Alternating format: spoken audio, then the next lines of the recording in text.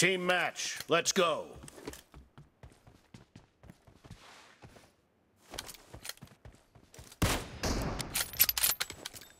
The blue team has scored for the first time!